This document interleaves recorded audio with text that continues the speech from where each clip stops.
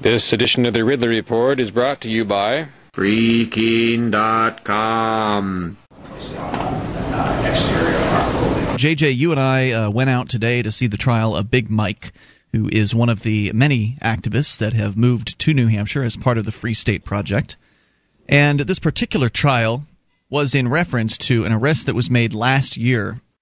Name and badge number? What's your badge? What? One three? And the arrest was actually made several weeks after the incident. That's that, right.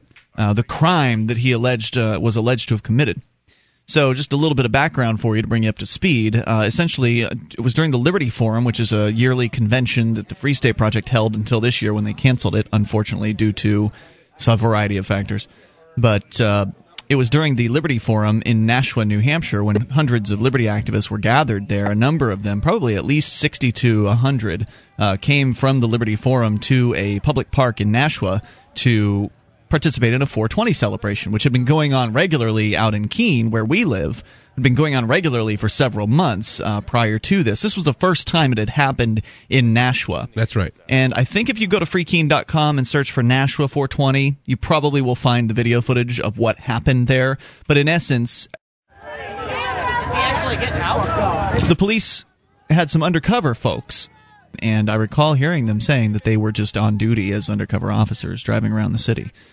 So anyway, they make an arrest. Uh, had a, I guess he had some sort of a marijuana cigarette allegedly, and he was arrested. As they were arresting him, some of the activists decided they were not going to stand for this, and so they went in. Well, I guess stood in front of the police cruiser. One person actually ended up sitting down uh, in front of the police cruiser as he was arrested. Uh, so he was arrested on the spot for disorderly conduct, so called, which is, of course, the police's favorite catch all charge. If they don't like something you're doing, they'll just charge you with disorderly conduct.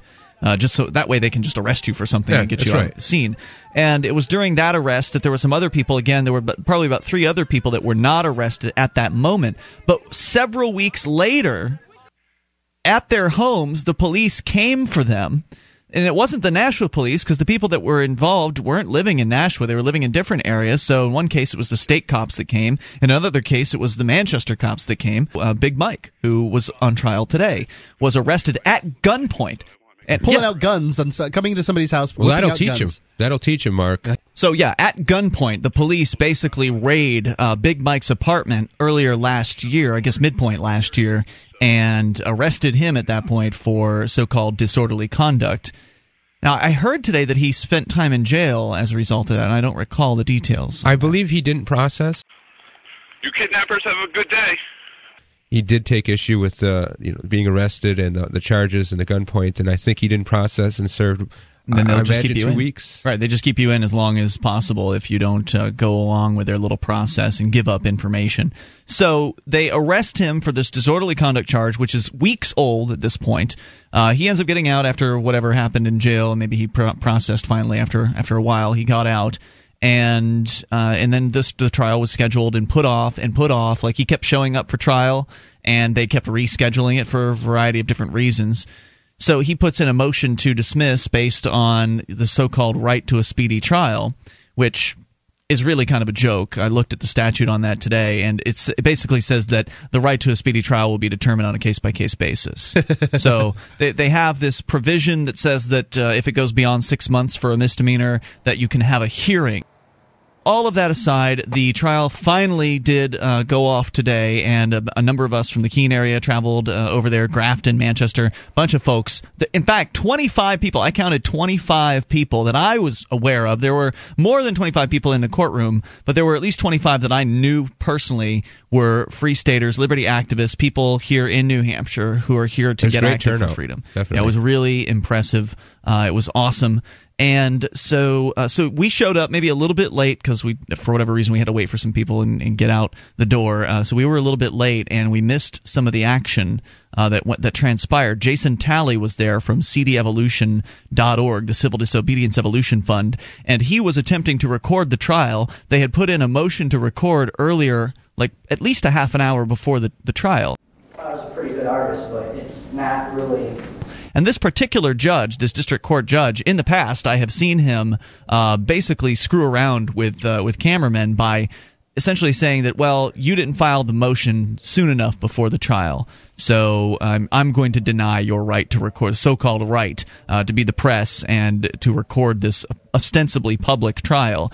Now, he did that in a case where the motion was filed pretty much right before the, the time for the trial. In this case, it was filed a good 30 minutes in advance. And at the very beginning of this uh, this case, not only did he move Big Mike's case up from third to first on the docket because Mike wasn't there at the beginning, he was also running slightly late.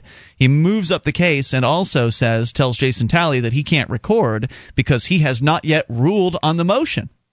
And this is one of the reasons why I always, uh, when I'm doing recordings at courthouses, I always put in a notice because I stand on the, and they still treat it like a motion. But for me, it's important to make it clear that I'm noticing you, doing doing you a favor, and letting you know that I'll be recording your ostensibly public trials today, you know, as the press.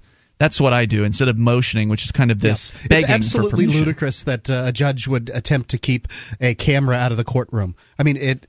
I, I don't. I don't even understand why they don't. Why they do it with federal situations. I understand they don't want their courtroom to become a circus, but one camera, two cameras, that's Yeah. not a circus. These people are standing still. I mean, what the hell are you doing in that courtroom that you want to hide so badly? Is really the question I'd ask. Exactly right. And the term you used, ludicrous, is entirely applicable because the rest of the story is incredible. Yeah, it is. The man in the robe refused to rule on the motion that was filed to record the, the trial today of Big Mike for disorderly conduct. He refused to rule on it, said he would rule on it during a recess. So, you know, if we take a recess during this trial, we'll just go ahead and I'll go ahead and rule on your motion then. Until then, you can't record. And so Jason Talley from cdevolution.org heroically continued to record. And it's a very brave thing to do. I mean, these are the, man in the robe has these men called bailiffs or court security that will do whatever he tells them to. So if he says, arrest that man, contempt of court, they will put that person in, they'll put Jason in handcuffs. What happened was just bizarre. The one of the court security officers, I don't know if he did it on orders of the judge. I wasn't there to see this happen, but one of the court security officers then walks in front of Jason Talley's camera. So I just walked right in as though you know I'm supposed to be there. Set up my uh, my tripod and set up my camera and just start recording. the crowd began Within moments, another court security bur- uh, bureaucrat comes and stands in front of my camera. So you now have two video cameras in operation in this courtroom where the judge has said you're not allowed to record. You've got two video cameras recording, two court security bureaucrats, one standing in front of each camera. That is bizarre. Yes. I've never seen anything like it before. It's like the- the whole metaphor of the gu- uh, the camera is the new gun. Well, this is they're they're there to take that bullet for Yeah, the for the uh, judge, For the right. judge. Are you a liberty activist willing to be on the front line against socialism? FreeKeene.com would like you to consider moving here to Keene. While Keene may have the largest number of liberty oriented media outlets, In the entire state of New Hampshire, there's still a need for more activists.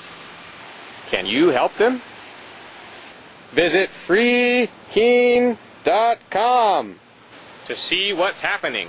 FreeKeene.com hooks you up with all the liberty media in town. Join the Keene Liberty activists and help free the beautiful city of Keene, New Hampshire from the clutches of the government. FreeKeene.com